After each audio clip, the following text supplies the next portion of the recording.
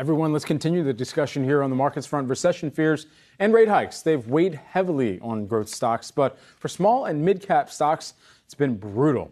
Joining us now to discuss, we've got Ariel Investments Vice President and Client Portfolio Manager, Danan Kirby. Danan, great to have you here with us today. Uh, first and foremost, when you think about the market narrative that we've seen kind of transition over the course of this year, it's gone from transitory inflation to naughty inflation, as some might call it, but even more so, inflation that is very much still here and is going to be persistent in the near term. Yeah, so look, the, the, there's been a changing narrative across the year, as you alluded to. Um, overall, of course, first we start the year with the fact that it's going to be transitory inflation. The Fed still believed it, we not necessarily so. And then, of course, now we have an aggressive Fed that uh, risks sort of squeezing the life out of the economy um, with the uh, aggressive rate rate rises, and thus you have rising recessionary fears amongst you know broader Americans who right now are facing you know challenges in the housing market, challenges at paying at the pump. Um, so there's a lot of fear in the marketplace, and inflation is largely to blame. Um, Dana, I don't even know if it's possible to answer this question. What's worse, high inflation or higher rates? What is more detrimental both for consumer spending on the one hand, but also corporate profitability on the other?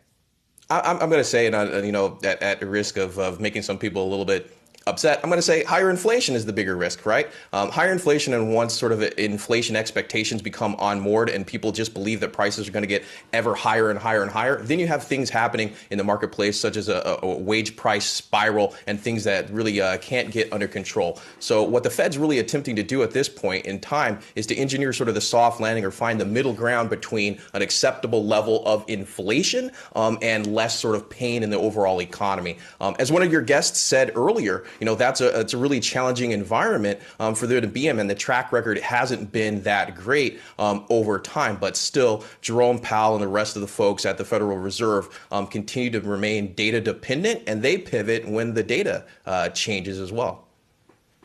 So, Dan, if the Fed is going to stay in this inflation fighting mindset for the balance of this year, maybe even into early next year, does one continue to shun growth stocks and favor value? Uh, absolutely. Look, if you're looking for you know longer duration uh, growth stocks that are out there, and sure they've gotten absolutely pummeled uh, this year. Of course, the valuations had been uh, way too high. Um, I'd say you need to look at value-based equities, uh, organizations that are generating their cash flow uh, closer to today versus out in the future. Um, even though we've seen some sort of pullback in in consumer discretionary names, in energy and whatnot over the last couple of weeks, value is still the place to be. Um, even if you're looking at growth to mid cap to small cap value. And if you're actually looking at the valuations of small cap value, well, right now, relative to, to growth names on large cap in, that's really where an allocator should be with their portfolio overall. And even though they've gotten absolutely smashed this year as far as price declines, um, some of those statistics that you, you looked at earlier from Truist are absolutely true and even more so true for small cap value. Do you expect some of the earnings estimates to start coming down, and, and, particularly here with regard to what you were just mentioning and how people might be able to p- position their portfolio right now as we're, we're watching tech too. You know, what should somebody's time horizon at minimum be if they're looking at even kind of playing within tech at this point in time?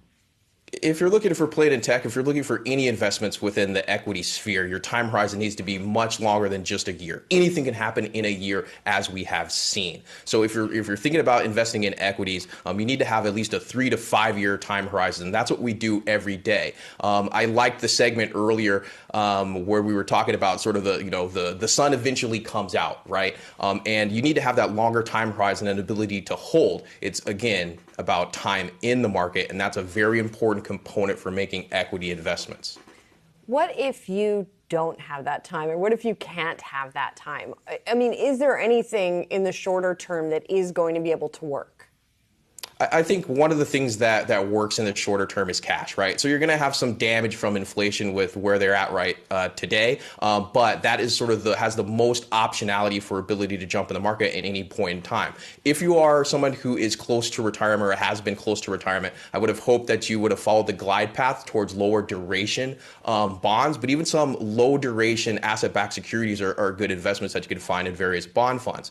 Um, if you do still have some time, say you're you know seven or, or five five years away from retirement, equity investments at the valuations that you're getting today look pretty good um, for uh, those you know, retirees or close to retirees.